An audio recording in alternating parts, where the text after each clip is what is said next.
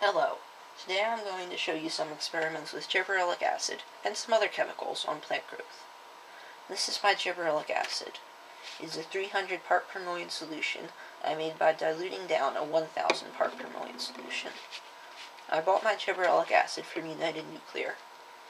When you buy gibberellic acid from United Nuclear, you get the spray bottle, a stock solution, and a paper showing you how to use the gibberellic acid. I will be spraying the gibberellic acid once a day on the selected plants. The next chemical I will be using is iron. This is an iron sulfate solution I made by dissolving iron metal in copper sulfate. The solution is concentrated and I will add a few drops when I water the selected plants with iron. The final chemical I will be using is this Miracle-Gro soluble fertilizer.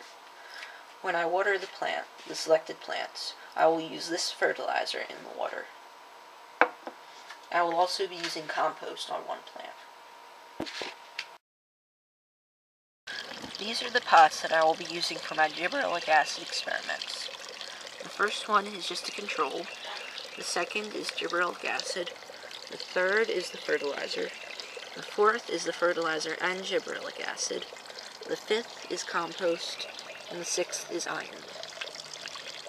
For the compost one, I'm using homemade compost from my compost pile. It is last year's compost, so it has had a full year to digest in the compost pile.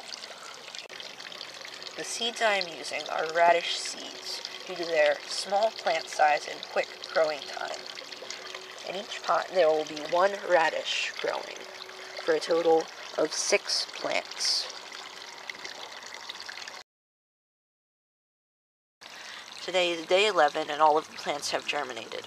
From now on, I will spray gibberellic acid once a day on the selected plants.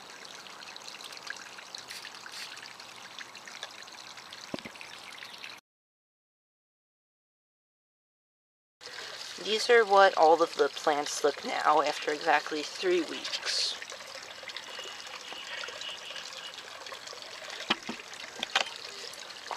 Now I'm going to spray the gibberellic acid on this one and this one, like I always do. But today I'm going to start giving the fertilizers into the other two plants, which are the fertilizer and gibberellic acid and the fertilizer. I'm also going to start giving the iron to the iron plant. Now for the fertilizer, I have 150 milliliters of water and I have this solution of the fertilizer. I'm going to take 5 milliliters of the solution and add it into the water.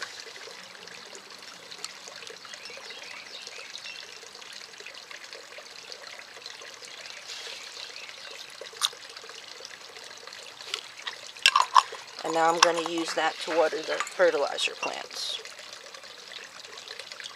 I'm only using a small amount of fertilizer because I don't want to give an overdose and burn the plants. Now,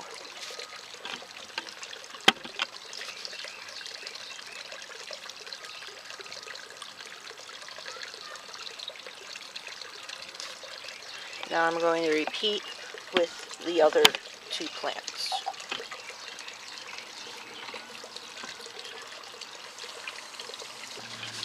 Now I'm going to add some more of the fertilizer.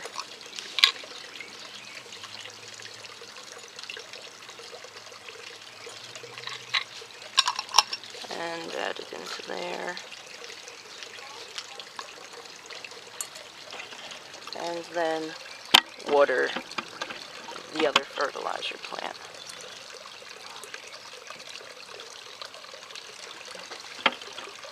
Now I have to repeat one more time for the iron. Now this is my iron sulfate solution. I added 5 milliliters of the concentrated iron solution into some water. Now I'm going to take 1 milliliter of that solution and water the plant with it.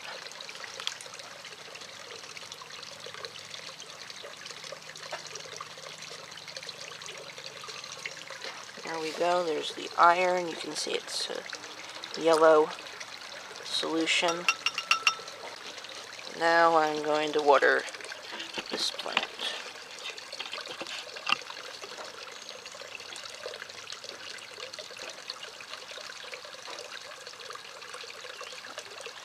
Okay, that's it.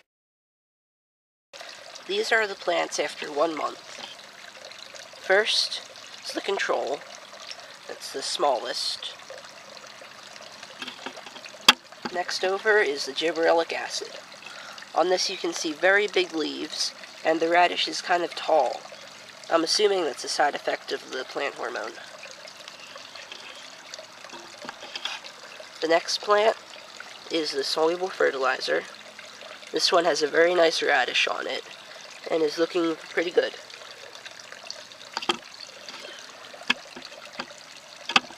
Next over is the fertilizer and gibberellic acid. This one has some insect damage on it, as you can see on this leaf. And it looks and it has big leaves like the gibberellic acid plant.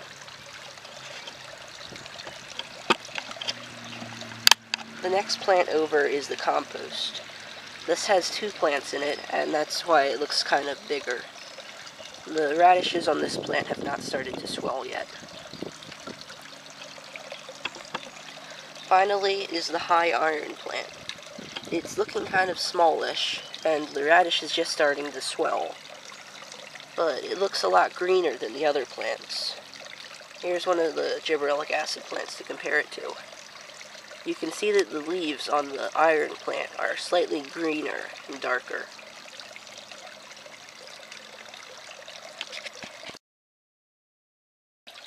These are all the plants at the end of one and a half months. First, here is the control. Ironically, this one is the smallest. Next is the gibberellic acid. This one has a long, mutated looking radish and the cotyledons are still visible, which is weird because they should have dropped off about a month ago. It only has two leaves on it, two real leaves. Here is the soluble fertilizer. This is a very good looking plant.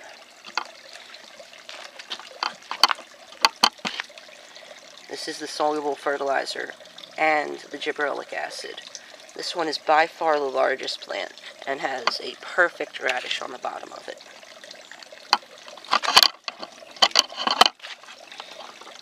here is the compost plant. This one is kind of smallish. And finally, the iron plant. This one is a little bit bigger than the compost. Has a small radish on it. But the leaves on this plant are slightly darker. Here is the gibberellic acid plant in comparison. You can see that the leaves on the iron plant are slightly darker.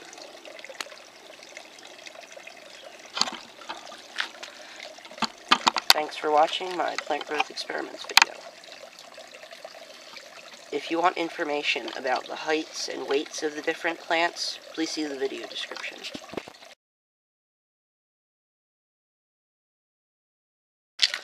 For those of you who want to see it, now I'm going to pull out each one of the different plants. Um, there is the control.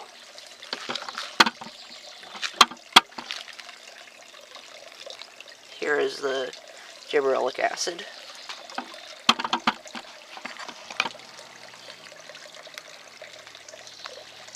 There is the soluble fertilizer. You can see it split right down the bottom.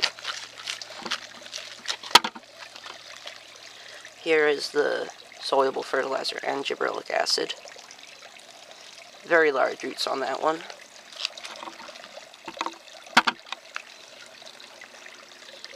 Here is the compost.